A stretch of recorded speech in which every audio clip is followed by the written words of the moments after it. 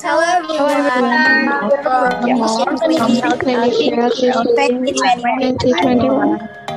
Hello everyone. We are from Teaching Clinic ULCC 2021. What do you know about English? Penting banget loh buat kita belajar bahasa Inggris. But how we can understand English easily? Let's check it on the video. Assalamualaikum warahmatullahi wabarakatuh. Hi everyone, my name is Nur Anissa Masita Dewi. Additions, I would like to explain about art speech. Uh, the first one is adjective and the second one is a noun. So let's move to the first material. Uh, so adjective adalah sebuah kata sifat yang digunakan untuk memberi keterangan pada noun dan pronoun. Contohnya adalah beautiful, ugly, uh, kind, generous, clever, lazy, and many. And the second one, uh, part of speech is noun. Jadi noun adalah uh, kata benda yang berfungsi untuk menamai orang, tempat, atau benda atau ide. And the noun is uh, usually start with an A, N, and Z. And there's a singular and plural pronoun. Uh, then I'm gonna give you some example for that. For the noun uh, regular atau noun yang beraturan, uh, contohnya adalah goat untuk singular and boats untuk plural, di mana di akhir di akhir kata ditambahkan dengan s. The, setelah itu adalah kata tunggal yang berakhiran huruf s, x, z, ch, dan sh, uh, yaitu untuk plural ditambahkan uh, kata es. Uh, contohnya adalah uh, singular untuk bus and plural untuk buses. Uh, box untuk singular and plural adalah boxes. And the third one adalah kata benda yang beraturan uh, dengan akhir kata y ditambahkan uh, es untuk plural. Contohnya adalah uh, spy untuk singular and spice for the plural and the baby for the singular and the plural is for the babies. So uh, kita juga punya uh, kata benda yang tidak beraturan or irregular noun uh, seperti women untuk perempuan and women untuk plural perempuan. Uh, child untuk singular and the children untuk plural and person untuk singular and the girl itu adalah people. Uh, I think that's enough for our material today. Hope you guys understand and hope you guys like it. Thanks for watching. Adverb Adverb dapat digunakan untuk memberikan atau penjelasan tentang kata sifat atau kata keterangan dalam sebuah kalimat. Aku bakal membahas dua adverb. Yang pertama the adverbs of time. Contohnya seperti today, tomorrow, dan lain sebagainya. Contoh kalimatnya, tomorrow I will have an English exam. Lalu yang kedua the adverb of place. Contohnya seperti beside, above, dan lain sebagainya. Contoh kalimatnya, I am sitting beside my mother on the bus. Lalu ada verb atau kata kerja, merupakan suatu kata yang mendeskripsikan mendeskripsikan subjek itu sendiri ataupun menunjukkan sebuah peristiwa dan keadaan. Aku bakal membahas dua verb. Yang pertama adalah regular verb. Biasanya sebuah kata kerja yang teratur diberi tambahan ed. Contoh kalimatnya, Rahmat published an article on this page. Lalu yang kedua ada irregular verb, yaitu kata kerja yang berubah karena tenses dalam bentuk yang tidak teratur, sehingga tidak dapat diketahui bentuk dua dan tiganya, kecuali melihat pada kamus. Contoh kalimatnya, she had gone before I came. Hello everyone! Kalian tahu nggak sih apa itu idiom? Idiom adalah suatu frasa, kata, atau ungkapan yang memiliki makna kiasan atau disebut juga dengan peribahasa. Here are four idioms you should know and use to improve your English. Number one, piece of cake. Diucapkan ketika ada pekerjaan yang menurut penuturnya ini sangat mudah dilakukan. Hey, how's the math test? Oh, it was a piece of cake. Number two, no pain, no gain. Kalau dalam bahasa Indonesia ini artinya bersakit-sakit dahulu, bersenang-senang kemudian. Contoh dalam kalimatnya adalah Come on, you should try harder first than TTN.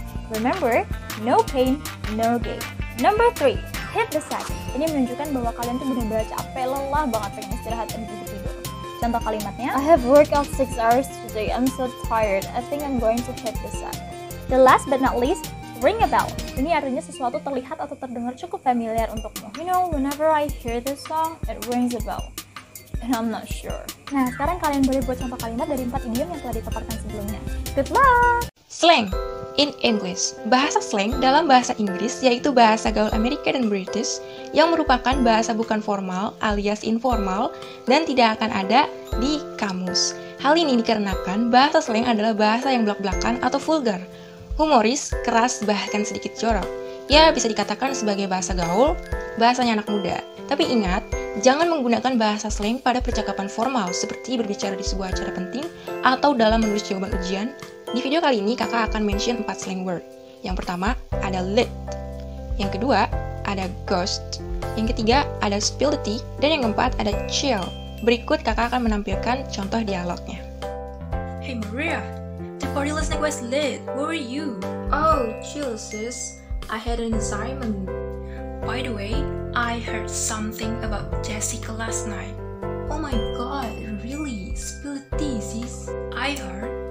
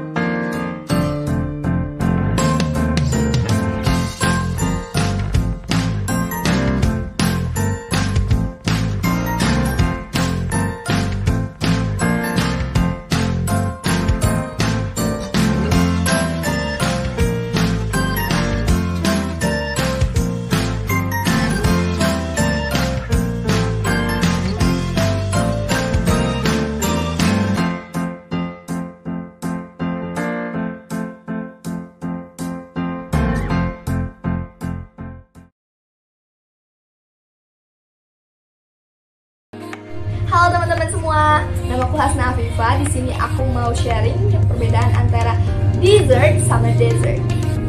Dengarnya kayak sama ya, padahal beda jauh banget artinya. Jadi kalau dessert itu artinya gurun, D E S E R T dibaca dessert. Dessert.